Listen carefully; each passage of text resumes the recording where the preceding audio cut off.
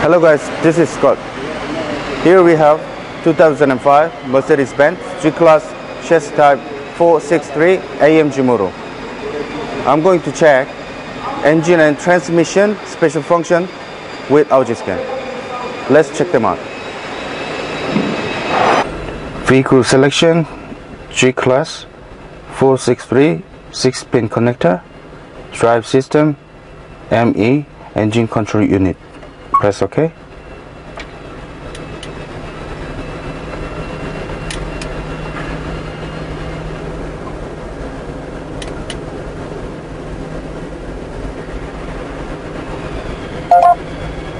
Go to special function.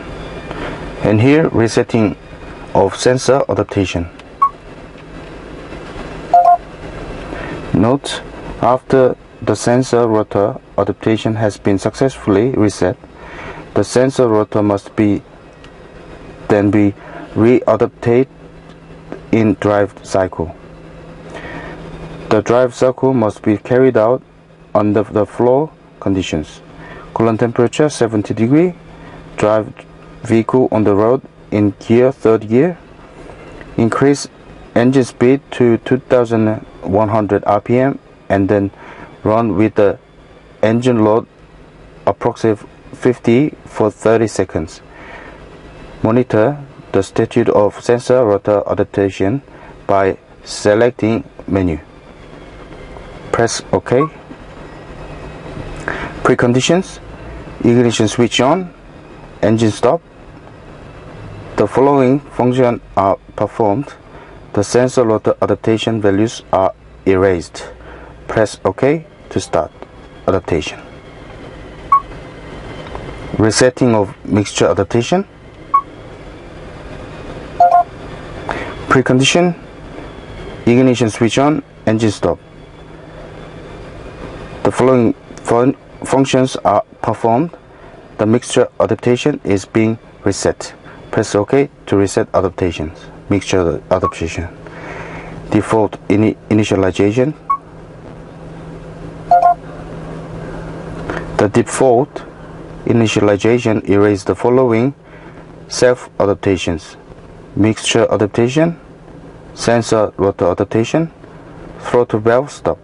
Preconditions, ignition switch on, engine stop, vehicle stationary, select level position parking or neutral, coolant temperature between 5 and 100 degree, accelerator not operated. Press OK to in initialization. And go to transmission, electronic transmission control, ETC.